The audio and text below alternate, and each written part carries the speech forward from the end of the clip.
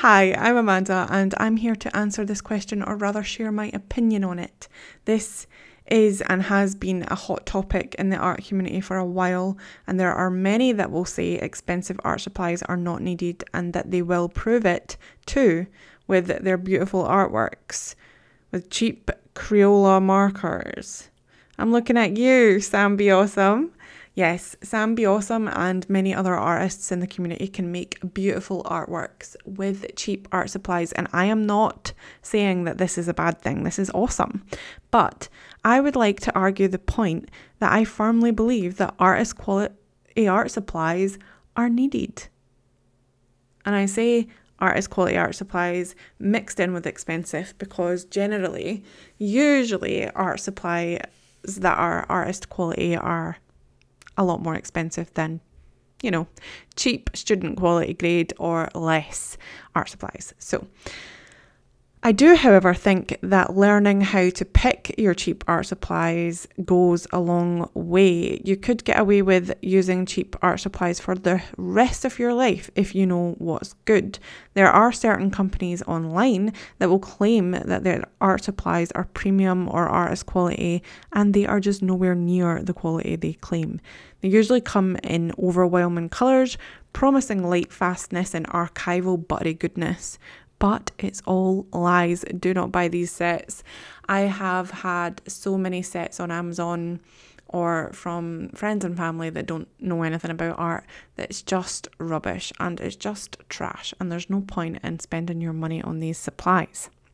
Now, on the topic of art supplies that don't claim these things but are cheap and are geared more towards learners, you know, people that can't afford art supplies, students, that kind of thing, there are a bunch of them out there that are actually really good quality, like Himi Gouache, for example, which I'm using now in this little clip that you can see. They are currently, as of right now, $28.99 on Amazon for 24 colours in 30 mil tubs. Whereas the Holbein gouache that I am comparing it to, and I say that with quotation marks in my hand, um, because you can't really compare these kinds of art supplies. I believe that you can compare compare Holbein with Schmincke or Holbein with Winsor Newton, but you can't compare Himi gouache with Holbein.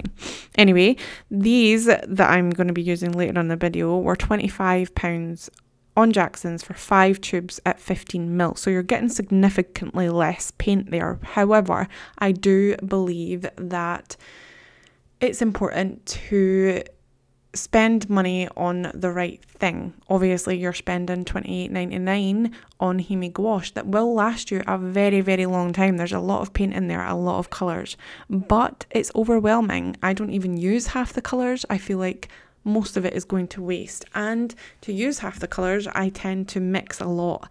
And with Himi gouache, they're not pure pigments, so you are mixing colours that have already been mixed together with other colours, and there might be incompatible colours in these mixes that you don't know about because who knows what kind of colours these have been, uh, or what kind of pigments, sorry, have been to. Uh, have been mixed to use these. I'm really sorry if that was confusing. I, uh, my words, I need to take this in one take because I literally have 10 15 minutes to record this and it's a much longer video than that so we need to power on and get through this basically what i'm trying to say is that yes you are getting a lot of paint for cheaper but it's not as good an experience as what you will get with Holbein gouache. And yes, you will have to buy more, and it is a little bit more expensive, maybe in the long run. But I do believe that £25 for five tubes, 15 mil, will last you a long time if you use it correctly and if you are willing to, uh, you know,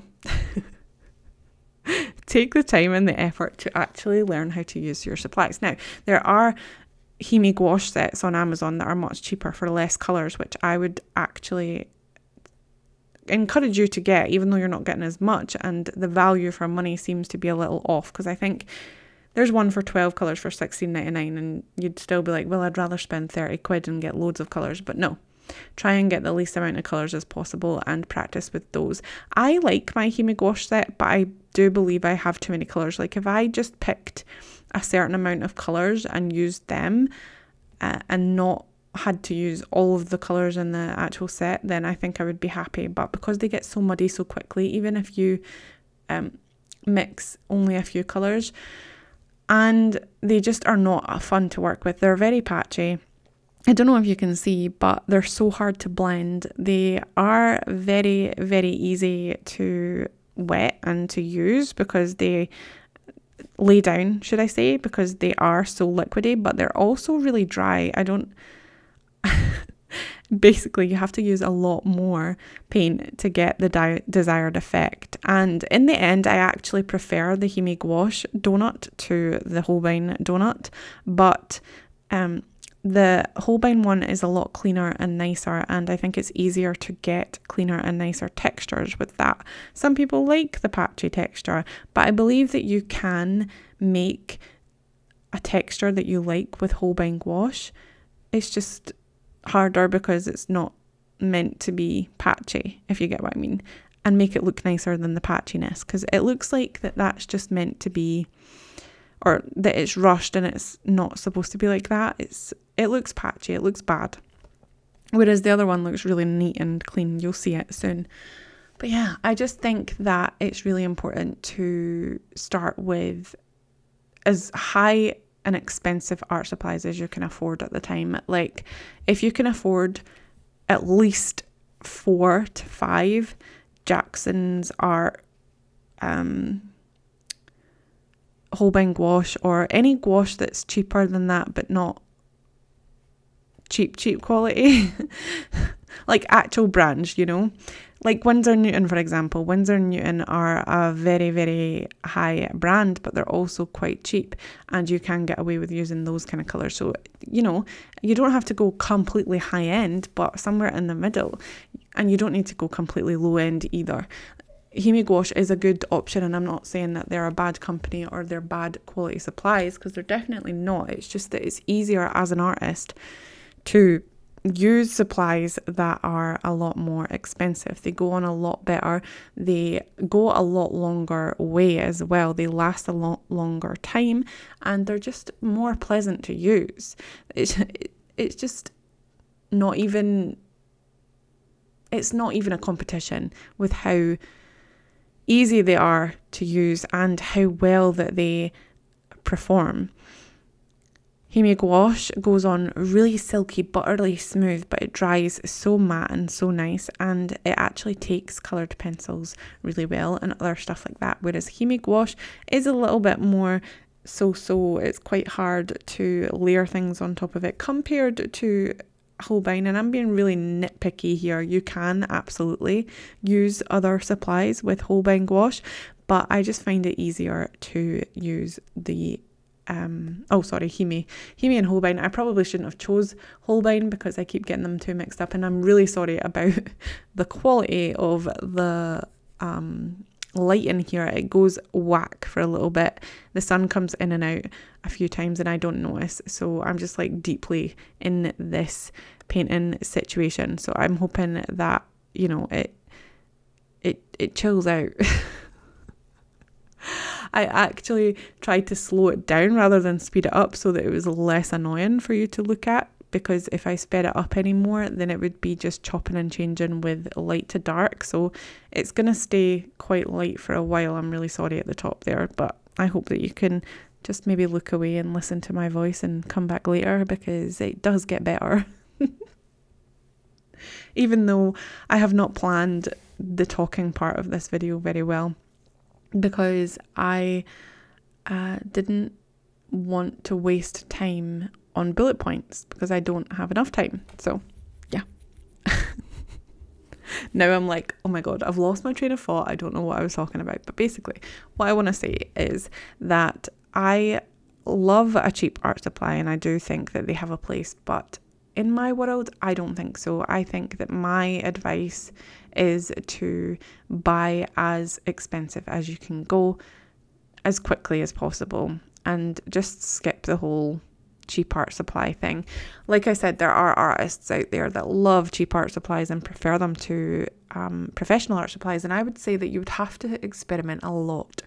I have experimented a lot in my life. I I can't say that I just went straight from cheap to expensive because for the first good 10 years of my art life, I didn't know that there was such a thing as expensive versus cheap. I just thought that all art supplies were the same quality. Like, you know, those little Reeves watercolour paints that you get in school when you first start. Uh, well, I don't know if all schools do this, but my school gave us a little Reeves watercolor set and I'm so sad that I've lost that now or or that I got rid of it but I got rid of quite a lot of supplies because I don't like to hoard and I like to use the supplies that I like so I did get rid of them. But um I thought that all supply all art supplies were like that. I thought that you didn't get a different quality of supply which is complete bull. You of course you get different qualities of supplies. Like I thought that the sketchbook that I had, the Reeves watercolor paints that I had, the paint brushes that I had that had their bristles falling out all the time was it. Like I thought that that's all you could have, and I actually gave up because of this. I thought that I wasn't into art as much because I just didn't get on with the supplies. I was struggling so much to make the pictures that I wanted to make in my mind because of the supplies. Now, there are ways around that. You can obviously get more decent paper and less good paints, or more decent paints and less good brushes, but I would say that it is important to get things that you like to use. It doesn't necessarily have to be cheap or expensive. But if you like using it and it was a certain price, then yay. Of course you're going to use it and of course you're going to not care whether it was expensive or not. Like the set of brushes that I am using are actually not that expensive. Here here I am like, oh, I want to argue the point that expensive art supplies are important and they should be used and cheap art supplies can get in the bin. And I'm using a set of brushes that were like I don't know how much they were, like a tenner for 20 brushes or something. It's difficult because there are a lot of people that cannot afford to buy art supplies, but I would say that everybody earns money at some point in their life, even if they are skint and don't have a job. Save that money up. If you really want to get something, you will find the means. And, uh, you know, birthdays, stuff like that. Um, it's quite easy to acquire things that you want eventually in life. And if you can afford a coffee or, I don't know, anything else, a can of cola, a McDonald's, something, if you can afford those, you definitely can afford art supplies that will be good for you. Um, So I don't know if this actual comparison is a good comparison, especially because I am rushing as I am going away to Wales uh, tomorrow. Uh, so I am trying to get this video as soon as possible because I've just came back to YouTube and I again for the like third time and I don't want to delay this video so I'm trying to get it out uh, which has caused me to put out a video that's not as good quality as I would like because of this whole light situation like I've been doing YouTube for like eight years and I'm still unaware that the light changes. like, what is that? I, I don't know. I was just enjoying painting, okay? I was watching Orange is the New Black again uh, on Netflix and I was just painting away. And I did this yesterday too. Um, I painted a video, or sorry, I painted a painting in my sketchbook exactly like this. No, it wasn't. There was three donuts and then another three donuts. There was six donuts, if you can count. And it's in my sketchbook, so you'll see it in my sketchbook tour, which I am going to do as soon as I finish the sketchbook. But um, there was six sketch, uh, six donuts, and I compared Himi Gouache to Holbein. But then I didn't like the footage because of the light and then I decided to redo it today, and the same thing happened. The lighting died. I don't know whether I should put my uh, camera on manual. Uh, no, not manual, automatic, so that it automatically adjusts the settings, or if I should just shut my curtains, which I think shutting my curtains is the best way to go and just putting the lights on inside. But then if I have my light on and I'm trying to watch Oranges and New Black on my telly, it's really hard to see it because of the reflections. So there's a big struggle there. Anyway, yeah, um, I'm painting this donut. I'm using a Holbein gouache. I'm using a uh, Hahnemuhle sketchbook. It's an A4 sketchbook. I got it from a local art shop from uh, the Edinburgh art shop. I say local, I don't live in Edinburgh. I had to get a train, five, 25 minutes to go to Edinburgh to get this. And uh, I decided that I wanted to support um, shops, like actual shops. I love going into shops and buying things. And I knew that this was here, so I went all the way there to get this sketchbook and I got it. Um, I will say that I am using Winsor and Newton white paint for the Holbein side and possibly the Himi gouache side. I think I may have dumped. Oh no, it's not sorry, it is Artful. I'm using Artful white in the Himi gouache side, um, which is still quite cheap art supplies. Like I got the whole box for £35 and there was a lot of stuff in it. So yeah, still cheap cheap art supplies, so that doesn't count. But I will say it's quite impressive. The white is quite impressive. And to be honest, the whole set is impress- impressive. It's just that I don't know. I just like using more expensive art supplies. And obviously, if you're going to be making a career out of this and selling your art, you want the highest quality possible art supplies you can have because otherwise you're going to get in trouble if you're trying to sell art supplies that doesn't last, that aren't archival or aren't good. And a lot of my paintings that I've done with Himi gouache are just so dull and muddy and I get frustrated because I do like the whole muted vibes, like the muted tones vibes, but there's a point where it looks good and a point where it looks like a mistake, like you've just mixed dark burnt umber into everything. Um, which, to be honest, that is the way that I darken most of my colours. However, recently I have been trying to use a medium colour and, um, or rather, yeah, no, a dark colour. So a really saturated dark colour and then adding uh, white to it, or not white, but a lighter colour.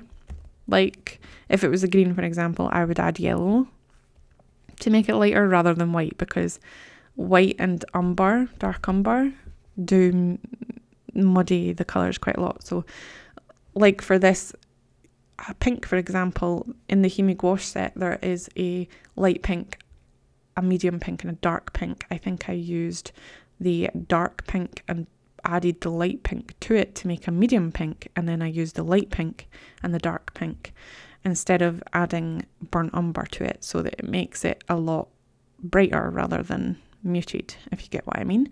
Uh, and then I did the same for the. Uh, I was to say I did the same for the donut part itself, but I didn't. I used burnt umber because that's a really nice brown. I think I used burnt sienna, burnt umber, and white for those. But I'm trying to avoid putting white and burnt umber in my paintings a lot, but obviously I'm there's still a place for that. And also I like to I like to mix my own burnt umber with um all the colours in the primary set, the blue, the red and the um, yellow. You can tell I haven't talked to the microphone for that long in a while. I'm sorry so yeah, that's basically what's uh, happening. Um, tell me what you think in the comments below. Is there a place for expensive art supplies? There's probably so much that I haven't said that I'm meaning that I've meant to say. So I'll have a discussion in the comments with you below if there's anything else that I need to say. And um, obviously, you can tell me in the comments below as well. Do you think that there's a place for cheap art supplies? Do you like cheap art supplies? Do you use them? I tend to avoid them. However, I do use them when possible because one, I have this Himi gouache set, which I feel really guilty about because there's so much paint. You can't obviously see it, but if you look it up on Amazon, it's 24 colours. Um, there's a lot of paint there, and I just feel guilty because I know for a fact that I'm not going to use all this paint and I don't really want to. I would prefer to practice in my sketchbook with my Himi gouache, uh, sorry, my Holbein gouache or my Winsor Newton gouache. I don't really want to practice with uh, Himi gouache because I don't like using it. Whereas I think it's so much easier to use the other art supplies in my life. And I want to use those art supplies and take advantage of the, that kind of stuff. But unfortunately, I can't really give this set away. I mean, I could, but who am I going to give it to? I don't have any friends. No, I don't have people that would benefit from this. I don't think that I could give this to, so I'm probably not going to do that. But maybe my son might like it. Who knows? Um, however, I'm just gonna keep using it, I guess. no, no, no, no. I think I might, what I might do is make sets out of it. So rearrange the colours so that I could use um, a set of four or five colours and only use those color colours rather than mixing it up and using all of them. I think that could be a good idea.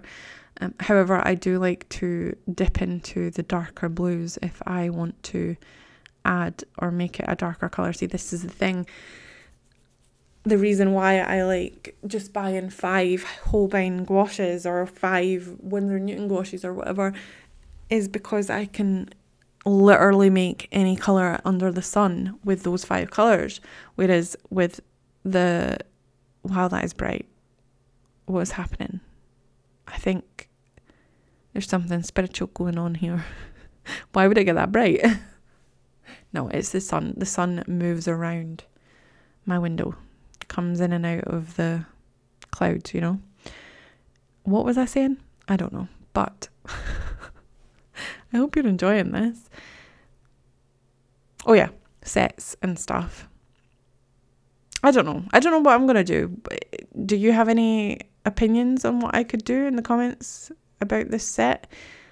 Like I said, I, I don't like having excess things in my house. I like things to be quite simple. And I think with my brain, I actually use it more if it's simple. And having different types of gouache to use, even having the Artful, the Himi, the Holbein, and the Winsor Newton gouache is too much for me. I would rather just have the four or five colours that I use because I hate adding different colours in, but then I feel guilty about not using them. Like I have an olive green in Holbein, and that is a beautiful colour, and I would love to use that colour, but I would rather just mix my own olive green. I don't need, and I don't need an extra olive green, and it's just a waste of money. Like there's no point in me having these extra colours because I don't like them, and you can you, you can mix it yourself. I guess if you're not good at mixing, then it's good to have a baseline to go off of, and then you can add in darker or lighter colours to that colour that's been mixed. But I just think that it's important to learn colour theory yourself because then you won't have as stress. Like, I actually find making colours from multiple colours harder than making colours from a few. It's harder to get the colour that you want when you have loads to pick from because you're like adding in a bit of this. I've done a colour chart for Himi gouache, but there's too many. Too many to understand, too many to remember. If you mix this with this, then this will go this colour.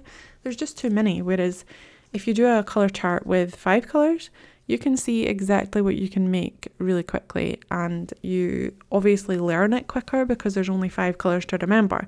You can remember a lot more of what you put into the mixture if you only have that amount of colours which goes under the whole expensive versus cheap as well. Yes, they are expensive, but there's only five of them. So fiver at five pound, a fiver of them at five pound, that's fine. What? No. five of them at five pound each. Yeah.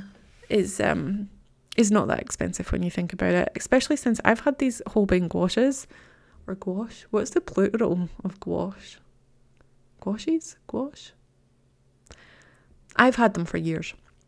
And maybe, yes, that's because I don't do as much art as I would like, but um, I still think even if I did art regularly, I wouldn't go through them as much. However, I am going through the yellow like mad because the yellow comes out so quickly. I think it's because it's actually a primary yellow. And I think that you need to you need to splash out on on your yellow, I think, because it's so watery and runny.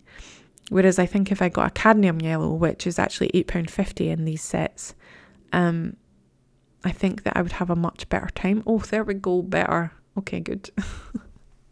it might only last a few seconds. But yeah, I do believe that you have to splash out. But that yellow is quite opaque, the primary yellow. It just, I go through a lot of it because it's not as thick. And I think that um, I would go through less of it if it was thicker. I don't know. But I've got a Naples yellow in there too. There's so many colours that I've got on Holbein that I'm not going to use. And it's quite upsetting actually. Like I said, I just don't like having extra supplies. I think it's easier to have less supplies. And in the short term or the long term or whatever you want to say, I don't know. You, you don't spend as much money as you think when you've got expensive art supplies because they last longer. Like, it, Himi gouache is annoying as well because every time you get it out, if you haven't used it in months, you got to go through and add drops of water and mix it up with a toothpick, and it takes absolutely forever. I had to do that a couple of weeks ago when I first cracked these out again because I hadn't used them in months and they were dry. But I suppose they are revitalized now and usable. Um, whereas with less cheaper supplies. They are so easy to re wet. I hadn't used my palette, my wooden palette where I've got my Himi gouache on for, um, I would like to say four months. And they were so easy to re wet and they still were quite creamy and buttery. Whereas when you re wet gouache, Himi gouache, cheaper gouache, it becomes bubbly and annoying.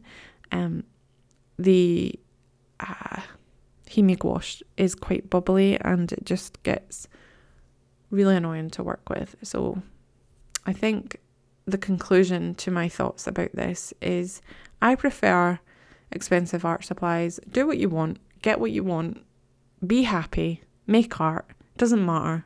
But in my opinion, I like more expensive art supplies. And I do believe that a lot of people should give it a chance.